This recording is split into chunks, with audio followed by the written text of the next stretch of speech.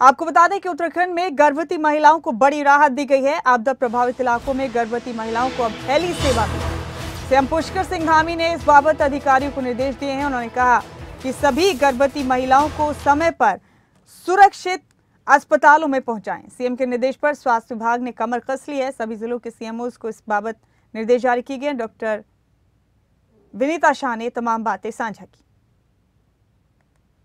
DG health हैं doctor Vinita. और मुख्यमंत्री के इस आदेश के बारे में उन्होंने जानकारी साझा की।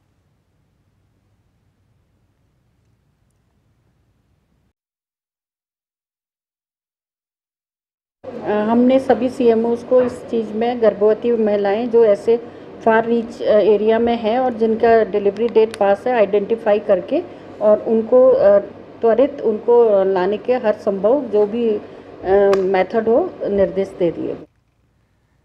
इस बीच कांग्रेस ने सरकार की योजना पर सवाल उठाए हैं। कांग्रेस प्रवक्ता शीशपाल सिंह बिस्ट का बयान सामने आया। उन्होंने कहा कि यहाँ पर समय पर 108 एंबुलेंस सेवा नहीं पहुँचती।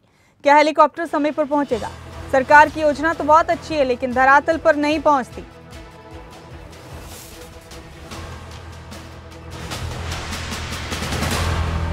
सवाल उठाए गए कांग्रेस की तरफ़ से इस पर। उन्होंने कहा कि यहाँ एंबुलेंस 108 सेवा समय पर नहीं पहुँचती। क्या हेलीकॉप्टर समय पर पहुंचेगा?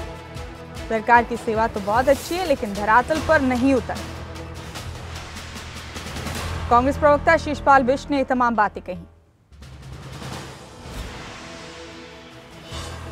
प्रदेश के मुख्यमंत्री कह रहे हैं कि गर्भवती महिलाओं को अब जो है एयरलिफ्ट किया जाएगा। 108 तो समय पर नहीं पहुँचती। गर्भवती महिलाओं की जान जो है आफत में आई हुई है, जान बच नहीं पा रही है और सरकार बड़े बड़े दावे कर रही है। जब अगर सरकार इसमें गंभीर है, गर्भवती महिलाओं को अगर वास्तव में ईमानदारी से एयरलिफ्ट किया जाता है तो योजना अच्छी है। लेकिन हम देख रहे हैं कि भाजपा सरकार की केवल घोषणाएँ होती है, योजनाएँ धरातल पर नहीं उतरती, ये सपने अच्छे दिखाते हैं, जुमले अच्छे कहते हैं, लेकिन इनकी योजनाओं का लाभ जनता को नहीं मिलता, ये हमारी चिंता का विषय है। अगर सरकार घोषणा कर रही है तो वो धरातल पर दिखाई भी देनी चाहिए और प्रत्येक गर्भवती की जान बचनी चाहिए, उसको स्वास्थ्य सेवा उपलब्ध होनी चाहिए, यही हम चाहते हैं। वहीं कांग्रेस के सवाल पर बीजेपी का पलटवार भी सामने आया। बीजेपी के प्रवक्ता विपिन कैंथोला का बयान सामने आया। उन्होंने कहा कि आज कांग्रेस को सिर्फ़ राजनीति दिख रही है। कांग्रेस एक व्यवहारिक पार्टी हो गई है। हर जनहित के मुद्दे पर राजनीति करते हैं कांग्रेस नेता।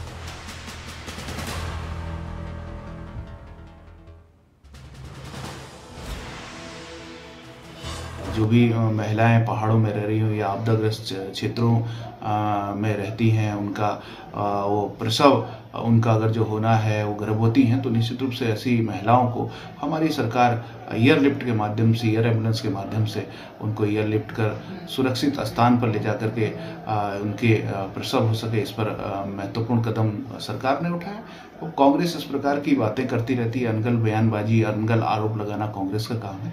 कांग्रेस के इस प्रकार के विचारों से ये साफ़ हो जाता है कि कांग्रेस को किसी भी तरीके से, किसी भी मुद्दे पर केवल राजनीति करनी है। उनको राजनीति करने के अलावा कोई काम नहीं है। इतने महत्वपूर्ण फैसले पर अगर जो कांग्रेस टिप्पा टिप्पणी करती है तो निश्चित रूप से मैं कह सकता हूँ कि कांग्रेस आज अव्यवहारिकता की ओर जा रही है कांग्रेस एक ऐसी पार्टी हो गई है जिसको केवल और केवल हर मुद्दे पर राजनीति और हमारे साथ हमारे ब्यूरो हेड राव शफात अली इस खबर पर जुड़ चुके हैं। राव शफात उत्तराखंड के मुख्यमंत्री पुष्कर सिंह धामी ने बड़ा ऐलान करते हुए गर्भवती महिलाओं को बड़ी राहत देने की बात की है। उन्होंने हेली सेवा प्रदान करने की बात की है गर्भवती महिलाओं को।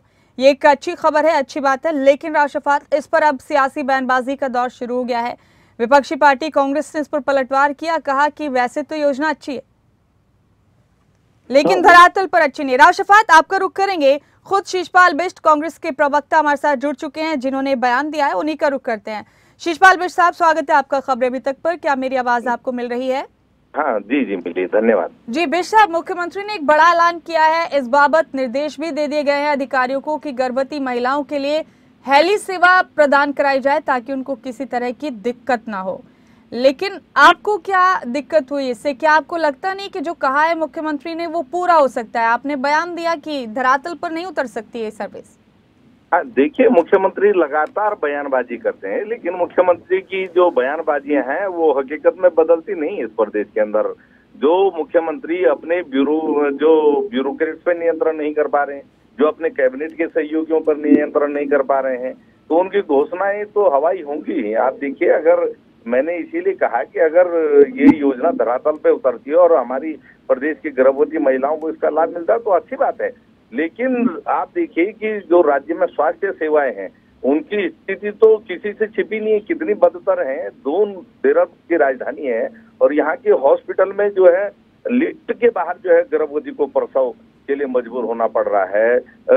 टॉयलेट में जो है प्रसव हो रहे हैं और एम्स ऋषिकेश में आप देखिए वहाँ पर जो है वैन में जो है प्रसव कराना पड़ा एम्स एम्स के अंदर। और यहाँ देहरादून में ये है कि चार चार गर्भवती महिलाएँ एक एक बेड पर जो है रहने के लिए मजबूर हैं। तो ये राज्य में स्वास्थ्य सेवाओं की स्थिति मैंने राजधानी और ऋषिकेश की आपको बताई है और अगर आप पूरे पर्वतीय क्षेत्रों का अगर डेली यहाँ के समाचारों से अपडेट हो तो ऐसा कोई दिन नहीं होता जब जच्चा बच्चा दम न तोड़ते हो गर्भवती महिलाएँ जो है दम न तोड़ती हो या दूर दराज में लोगों लेकिन शेषपाल जी आपका बयान आपका बयान बीजेपी को बिल्कुल पसंद नहीं आया। बीजेपी के प्रवक्ता विपिन कैंथोला का कहना है कि कांग्रेस बहुत अव्यवहारिक पार्टी है। हर जनहित के मुद्दे पर कांग्रेस को बस राजनीति करनी होती है। ऐसे ना भारतीय जनता पार्टी की बौखलाहट है। बौखलाहट में वो कांग्रेस को जो है, यही कहेंगे कि कांग्रेस इस प्रकार की बयानबाजी करी कांग्रेस तो जो जनता की मांग है, जो प्रदेश की जनता चाहती है जो यहाँ की गर्भवतियों की, की परेशानी है जो यहाँ के बुज़ुर्गों की परेशानी है यहाँ के लोगों की जो स्वास्थ्य संबंधी परेशानी है अगर कांग्रेस उसको उठा रही है तो भाजपा उसको जो है कहती है कि कांग्रेस की ओर से ऐसे ही बयानबाजी हो रही है। अरे कांग्रेस की ओर से तभी बयान दिया जा रहा है जब धरातल पर दिक्कतें हैं। अगर मैंने ये सारी घटनाएँ शेषपाल जी ठीक है। ये तो खैर देखने तो वाली बात होगी कि इस घोषणा का कितना असर होता है। फ़िलहाल हमारे साथ विनय रोहिला साहब हैं बीजेपी के वरिष्ठ नेता हैं। उनका रुख कर लेते हैं। रोहिला साहब स्वागत है आपका खबरें अभी तक पर। मेरी आवाज़। सुन सकते हैं आप? जी नमस्कार।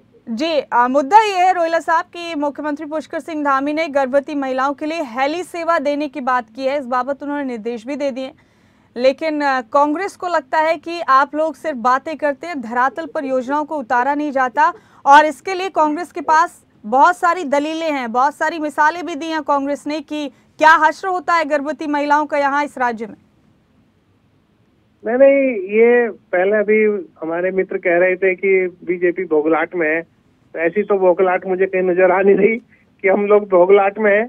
और दूसरी बात है, राज्य का विकास तीव्र गति से आगे बढ़ रहा है कि आज आप देखिए कि हर क्षेत्र के अंदर राज्य का विकास हो रहा है। स्वास्थ्य सेवाओं के अंदर भी आज हर तरह से, हर प्रकार से कोई जगह ऐसी चीज़ नहीं छोड़ी है जहाँ स्वास्थ्य की सेवा अच्छी नहीं हुई, चाहे एम्स हुआ हो चाहे सिविल हॉस्पिटल्स हो, चाहे मेडिकल्स हो मेडिकल कॉलेज का बनना हो, सब काम रुके पड़े हुए थे जब सरकार कांग्रेस की थी। सारे कामों को चालू किया, एकदम डचर पचर व्यवस्था थी।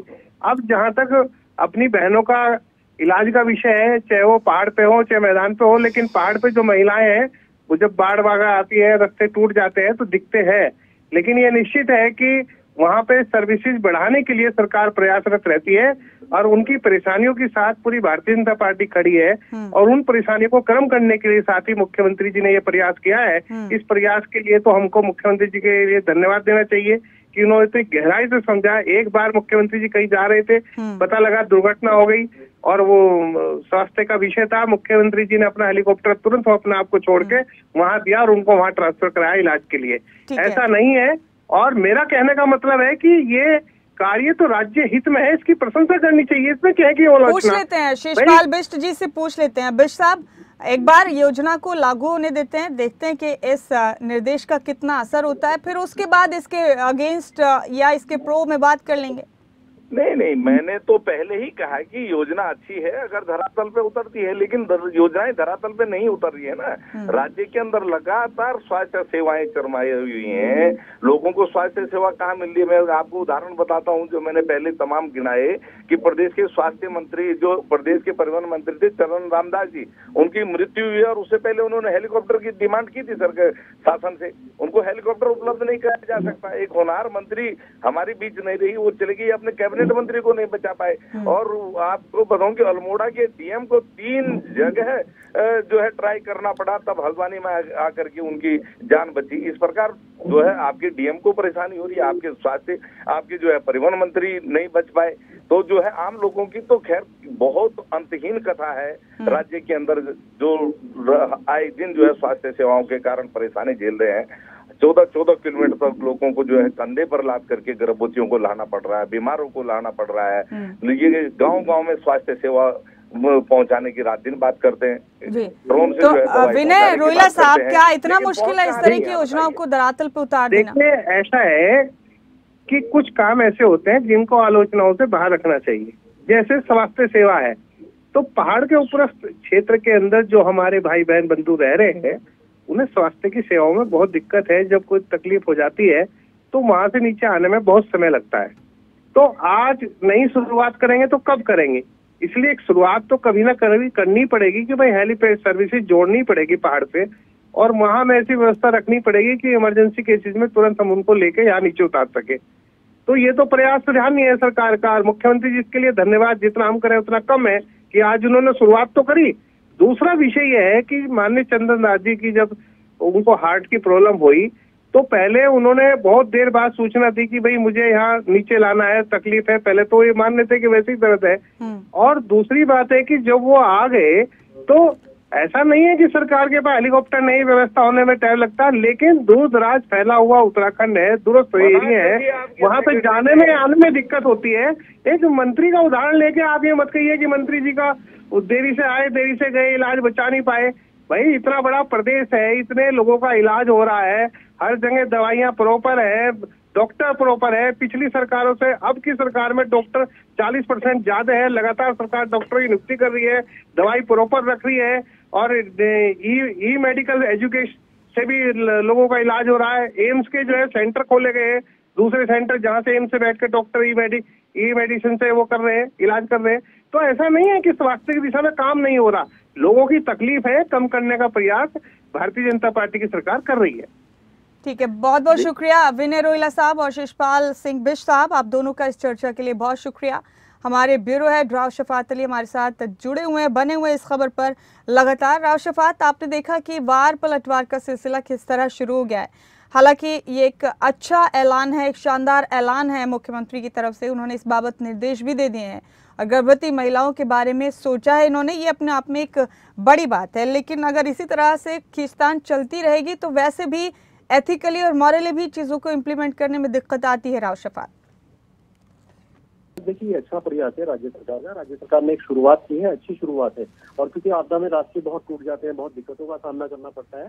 लेकिन अब अगर हेली एंबुलेंस समय से पहुँच जाएगा गर्भवती महिलाओं के लिए तो ये एक अच्छी शुरुआत है। इसके लिए विपक्ष को सवाल नहीं उठाना चाहिए लेकिन क्योंकि विपक्ष है सत्ता पक्ष पर सवाल उठाती है और ये बेहतर भी है ठीक है सवाल उठाया जाना भी चाहिए क्योंकि बहुत सारे ऐसे मुद्दे हैं, जब सवाल उठाए तब व्यवस्थाएँ बेहतर होती है। हम्म। लेकिन इतना ज़रूर है कि पिछली सरकारें हो या हालिया सरकारें हो स्वास्थ्य सेवाओं को लेकर के हमेशा से उत्तराखंड में दिक्कतें रही है मुमताज़। वो चाहे बीजेपी की सरकार हो या फिर कांग्रेस की सरकार हो। हम्म। स्वास्थ्य सेवाएँ बहुत बेहतर नहीं हो पाती लेकिन धामी सरकार ये प्रयास ज़रूर कर रही है। पिछले के मुकाबले देखें तो इस बार जो डॉक्टरों की नियुक्ति है वो बहुत ज़्यादा हुई है। पहले डॉक्टर बहुत कम थे अब इलाज बहुत आसानी से हो जाता है। पहले रेफर सेंटर बने हुए थे जो दूर दराज के इलाके हैं।